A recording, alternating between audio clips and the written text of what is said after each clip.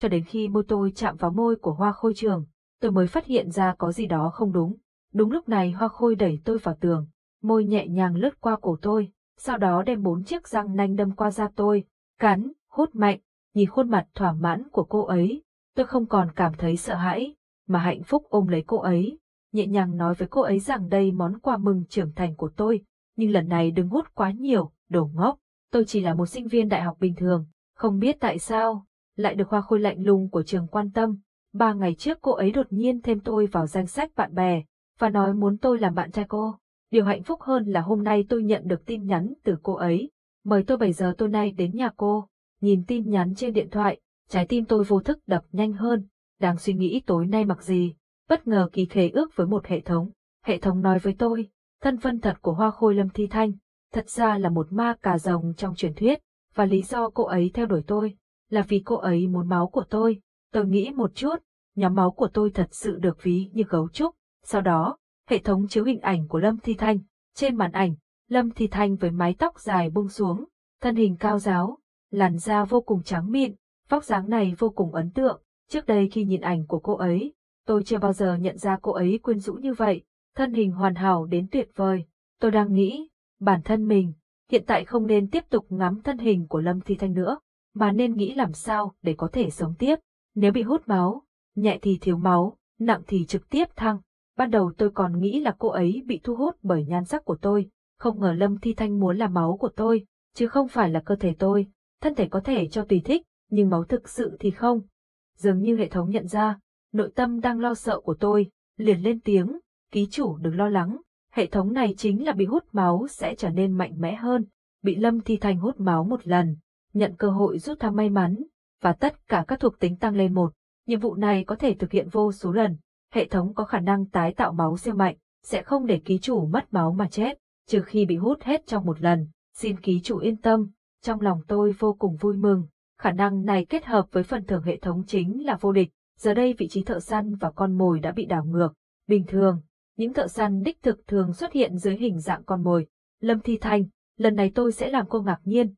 6 giờ 40 phút chiều, đứng trước cửa biệt thự Tây Lăng mà Lâm Thi Thanh nói, ngay trước cửa biệt thự, những người có thể sống ở đây, nếu không phải là nhà giàu thì cũng là quý tộc. Ngay khi tôi đang đứng bất động, một người đàn ông nhìn như quản gia bước đến, cậu Diệp phải không? Tiểu thư nhà tôi đã đợi ở trong, mời cậu theo tôi, không cần xác minh, có nghĩa là đối phương đã điều tra tôi kỹ lưỡng, trong khi tôi còn đang suy nghĩ, người quản gia đã đưa tôi đến phòng khách của biệt thự. Cậu Diệp, đợi một lát tôi sẽ đi thông báo. Khi tôi đang chuẩn bị nói thì một giọng nói vang lên, không cần gọi, tôi xuống rồi. Tôi ngay lập tức nhìn về phía giọng nói, trên cầu thang, một bóng dáng cao giáo chậm rãi bước xuống, có vẻ như cô ấy là Lâm Thi Thanh. Mặc dù tôi chưa gặp cô ấy, nhưng giọng của Lâm Thi Thanh rất dễ nhận ra, đó là một giọng nữ trong trèo, nhắm mắt cảm nhận âm thanh, dường như còn mang theo một cảm giác xa lánh, ngoài ra còn rất lạnh lẽo. Hôm nay cô ấy mặc một chiếc váy gothic Lolita, chiếc váy ngắn nhẹ đung đưa, tất đen dài tới đầu gối,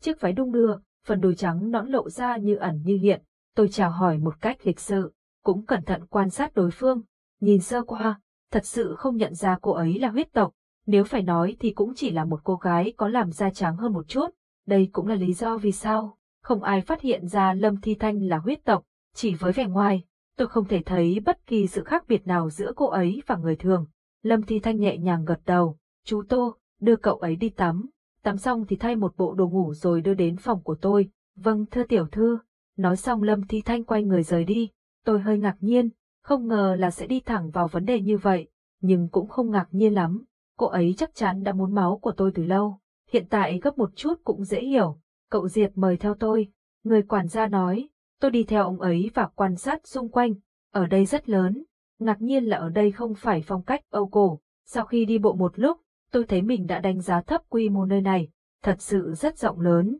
Người quản gia bên cạnh nhắc tôi đã đến phòng tắm, tôi nhìn căn phòng được bài trí xa hoa, không biết phải nói gì. Sau khi tắm xong, người quản gia dẫn tôi tới phòng của Lâm Thi Thanh. Đây là phòng của tiểu thư, tôi sẽ đưa cậu vào nhưng cậu phải đợi một lát. Tiểu thư vẫn đang tắm, tôi gật đầu, tôi không ngờ Lâm Thi Thanh đang tắm, có vẻ cô ấy rất coi trọng lần gặp này. Bằng chút ánh sáng mờ ảo, tôi nhìn thấy ở góc phòng, có một con nhện lớn màu hồng. Thấy vậy, quản gia Diệp vội giải thích, đó là thú cưng của tiểu thư. Ồ vậy à, một cô gái bình thường có ai lại nuôi một con nhện to như thế làm thú cưng chứ? Không hổ là huyết tộc, thật mạnh mẽ, xung quanh, đều là màu hồng, phong cách này không hợp với cô ấy chút nào.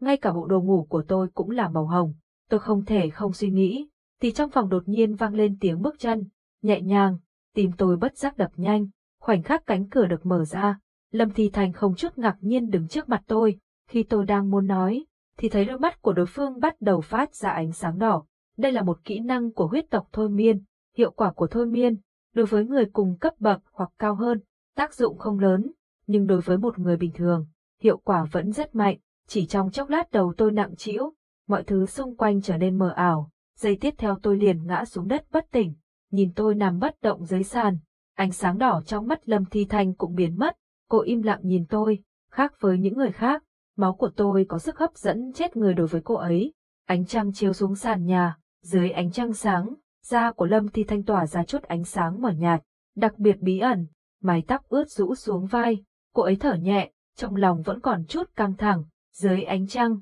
Lâm Thi Thanh hít một hơi thật sâu và nhìn tôi trên giường, hút một lượng máu vừa đủ không gây tử vong, bởi vì tôi đã bị thôi miên, vì vậy tôi sẽ không nhớ bất cứ điều gì xảy ra đêm nay, chỉ là ngày hôm sau sẽ có chút mệt mỏi, chờ đến ngày hôm sau, để quản gia đưa tôi đi, giả vờ như chưa từng có chuyện gì xảy ra, suy cho cùng thì cũng là cô ấy mời tôi đến, nên không có giết tôi, dù sao thì cô ấy cũng đã thôi miên tôi, nên tôi cũng không có ký ức gì. Lâm Thi Thanh ngồi cạnh giường ôm tôi, lưng tựa vào đầu giường, xoa nhẹ mặt tôi, hàm muốn hút máu của Lâm Thi Thanh dần dần bị kích thích, mùi máu trên người tôi khiến cô ấy mê muội, đến mức hai mắt đỏ rực. Lâm Thi Thanh nửa nằm bên cạnh tôi, nhìn khuôn mặt đẹp trai ngay cạnh, cô nhẹ nhàng vuốt ve cổ tôi. Lúc này Lâm Thi Thanh rất hưng phấn, chính là chỗ này, khoảng cách 4cm cạnh ít hầu, là nơi tốt nhất để hút máu. Khoảnh khắc tiếp theo cô cúi xuống, nằm trên cơ thể tôi, những chiếc răng nanh trong miệng cũng dần lộ ra, nhìn tôi ngay cạnh, Lâm Thi Thanh không do dự nữa, một âm thanh nhỏ vang lên, dòng máu đỏ tươi nhanh chóng chảy ra, Lâm Thi Thanh thấy vậy rút nanh ra và bắt đầu hút, trong giấc ngủ, tôi bất ngờ cảm nhận được một cảm giác đau đớn, sau đó thì liền mất hết cảm giác. Lâm Thi Thanh đang hút máu, trong đầu nhớ lại lời dặn Chúa Giêsu, đây là người của cô ấy, tốt nhất nên có chừng mực, lý trí đã đàn áp ham muốn của cô. Sau khi hút khoảng 500ml máu, cô ấy đã ngừng lại, nhẹ nhàng đưa tay qua vết thương trên cổ tôi, nó liền lành lại, như vậy ngày mai tôi thức dậy sẽ không phát hiện được gì cả. Sau khi làm xong, lúc này Lâm Thi Thanh rất phấn khích, hóa ra hút máu thoải mái đến vậy, từng ngụm máu đều khiến cô trở nên hưng phấn, cô không nhịn được mà than nhẹ một tiếng. Quản gia Tô nói, máu của người bình thường không có tác dụng gì đặc biệt, chỉ có thể coi như thức ăn tạm thời, nhưng máu của tôi lại vô cùng kỳ diệu, không chỉ xóa đi cơn đói của cô ấy, mà còn có thể cảm nhận rõ ràng dòng máu chảy qua thực quản, vào dạ dày, sau đó tiêu hóa chúng, biến thành những luồng năng lượng tràn đầy cơ thể. Cảm giác ấm áp đó kéo dài không ngừng, khóe miệng Lâm Thi Thanh hơi nhếch lên, liếm môi hài lòng, ngay khi cô ấy chuẩn bị đứng dậy và rời đi, không ngờ lại bị một bàn tay tóm lấy. Ngay sau đó, một giọng nói vang lên, hút xong rồi, liền muốn đi sao, làm sao mà cậu tỉnh được. Lâm Thi Thanh vô thức phủ nhận, nhưng lại phát hiện một bàn tay khác đã ôm lấy eo mình,